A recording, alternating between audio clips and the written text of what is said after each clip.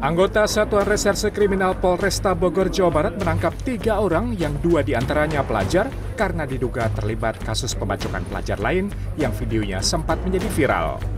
Dua pelajar ini adalah MA dan A yang berperan sebagai pengemudi sepeda motor dan pemilik senjata tajam, serta seorang lagi yang menyembunyikan kedua tersangka. Sementara itu tersangka pelaku utama yang membacok korban adalah remaja berinisial ASR yang hingga kini belum tertangkap.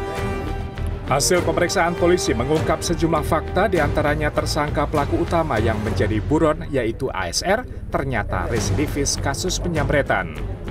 Selain itu, polisi menyebut motif para tersangka adalah terprovokasi oleh sebuah pernyataan di media sosial dan tersangka menyasar korban secara acak.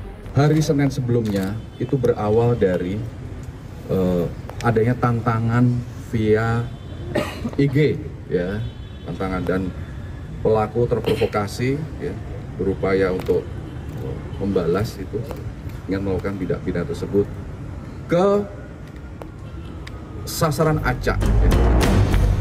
Sebelumnya, korban pelajar berinisial AS tewas setelah dibacok para tersangka pelaku saat sedang menyeberang jalan di Simpang Pomat, Jalan Raya Kedung Halang, Kota Bogor, Jumat siang pekan lalu. Korban yang saat itu hendak pulang setelah mengikuti ujian semester sekolah dihampiri tiga tersangka yang berboncengan sepeda motor dan membacoknya dengan parang. Peristiwa ini bahkan terekam kamera pengawas toko di sekitar lokasi. Tim Liputan CNN Indonesia.